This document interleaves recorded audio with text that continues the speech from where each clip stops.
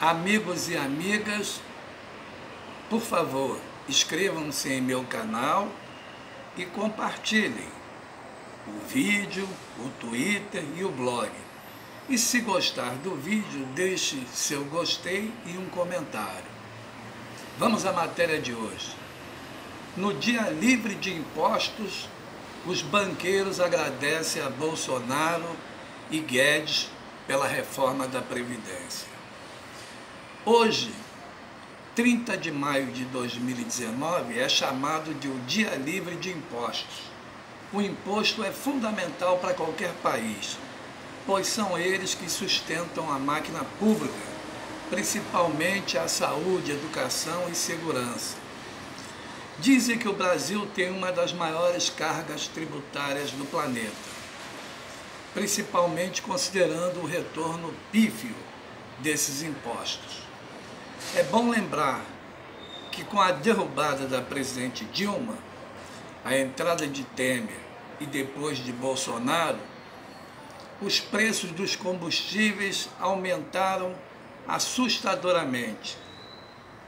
Os governos de Lula e Dilma seguravam os preços dos combustíveis, principalmente para favorecer os consumidores brasileiros e segurar a inflação. Pois diziam, o Brasil possui os combustíveis mais caros do mundo, principalmente a gasolina, fazendo assim pressão para desqualificar o governo. Os caminhoneiros fecharam estrada com faixas do Fora Dilma. Muito se falou que o movimento era lockout, ou greve dos patrões, ou seja, não era um movimento de trabalhadores.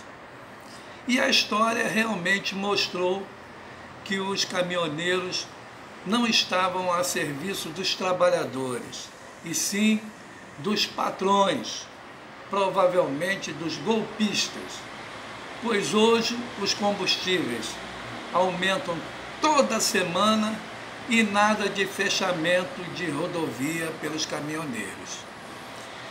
Creio que os pelegos caminhoneiros são os ligados às grandes transportadoras, o que nada tem a ver com os avulsos.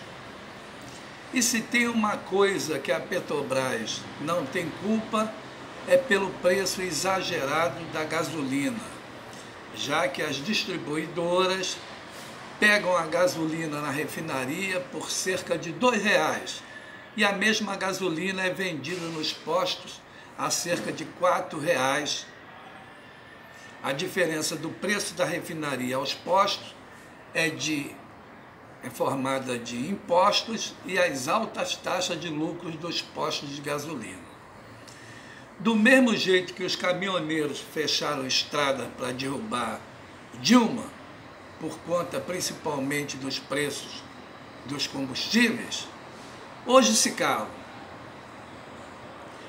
Grandes alarmistas dos altos impostos praticados no Brasil são justamente os grandes empresários, que também são os principais sonegadores. Tanto que o impostômetro, que mostra quanto de imposto pagamos a União, estados e municípios, foi criado pela Associação Comercial de São Paulo. A maioria dos grandes comerciantes coloca toda a carga tributária no preço final do produto, além da sua margem de lucro.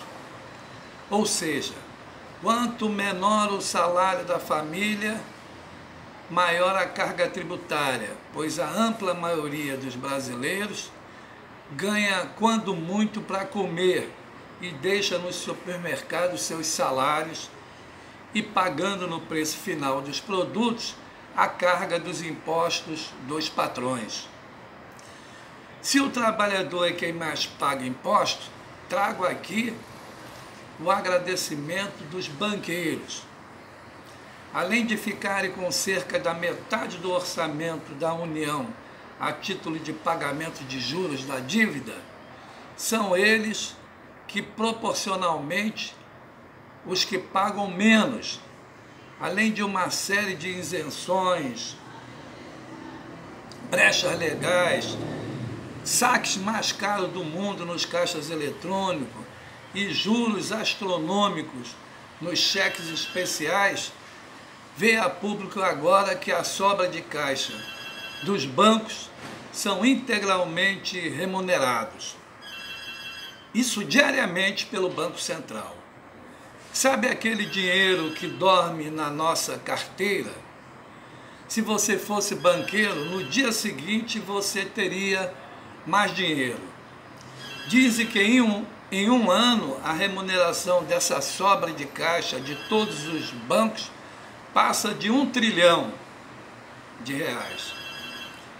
E aí os banqueiros nesse dia livre de impostos mandam os sinceros agradecimentos ao presidente Bolsonaro e ao ministro Paulo Guedes. Isso porque depois de todos esses privilégios, ainda vão abocanhar o dinheiro da reforma da Previdência. Pois se nela o governo diz que quer economizar mais de um trilhão de reais, ele esconde que a maioria desse dinheiro irá para os banqueiros e grande parte dele livre de impostos. Rio de Janeiro, 30 de maio de 2019. Oh, quão bom e quão suave é que os irmãos vivam em união.